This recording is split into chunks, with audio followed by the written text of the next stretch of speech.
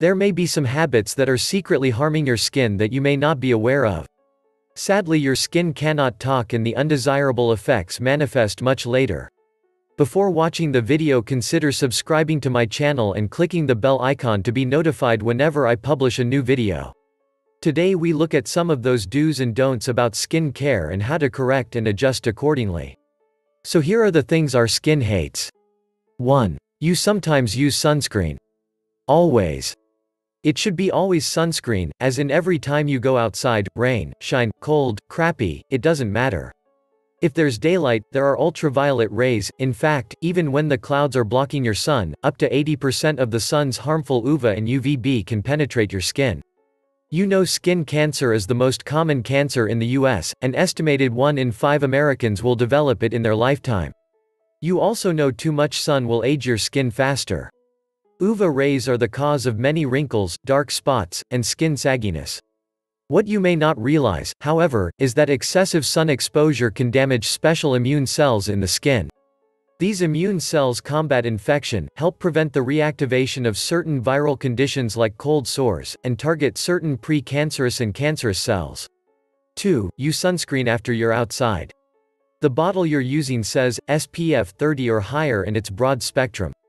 That means it protects your skin from both UVA aging rays and UVB burning rays and may also be water resistant. This is all excellent.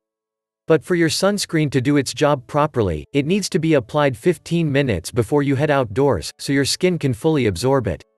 In the time it takes you to find the perfect spot on the beach, set up your chair, move to a better spot, open your umbrella, and then grab the sunscreen, your skin is unprotected and can burn.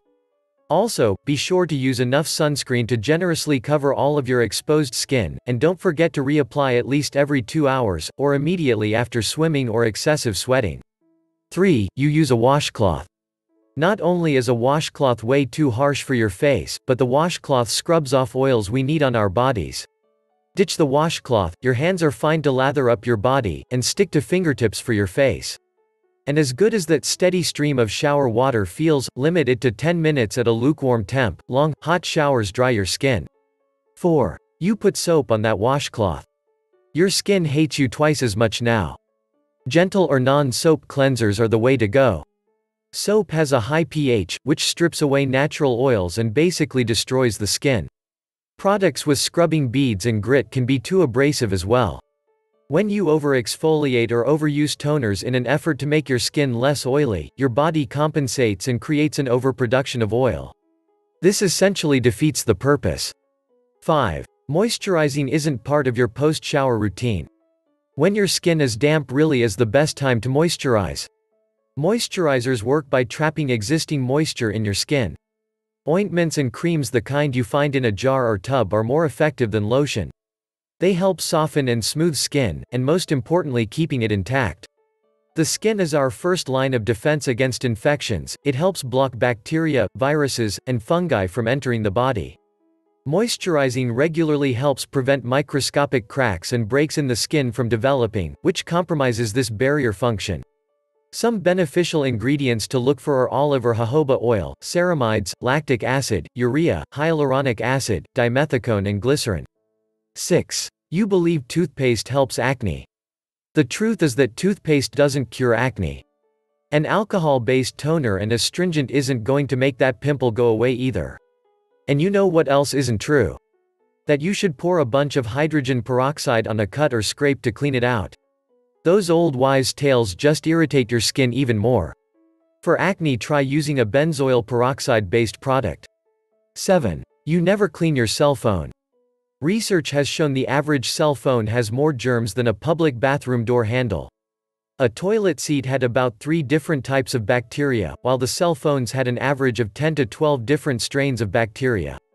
As you push that dirty phone up against your face to talk, you're swirling bacteria and oil into your pores. Make sure to regularly clean your phone with appropriate alcohol wipes. 8. You're a chocoholic. Whether or not eating it will make you break out is still up for debate, but what experts do know is that overeating sugar can leave your skin dull and wrinkled. As you indulge in your favorite flavor of ice cream, cake, and candy bar, sugar molecules bind to proteins in your skin, causing damage to the fibers that keep skin firm and elastic. This then leads to wrinkles and sagginess. 9. You think beauty sleep is funny. You can't help it, anytime someone say they have to get their beauty sleep, you giggle. But it's so not a punchline. Your skin is constantly making new cells below the surface, and this process speeds up during sleep. When you don't get enough rest, skin cells have less opportunity to regenerate. Additionally, stress hormones increase, which can contribute to inflammation. So when you hear it's time to get some beauty sleep, stifle and hit the sack. Research has shown people who get uninterrupted, quality sleep show half as many signs of aging as poor sleepers, including fewer fine lines, better elasticity, and more even tone. The ideal time is 7 to 9 hours. So there you have it. Hopefully you are not engaging in any of the 9 things your skin hates. If you like this video, give it a thumbs up and share it with your friends. See you next time.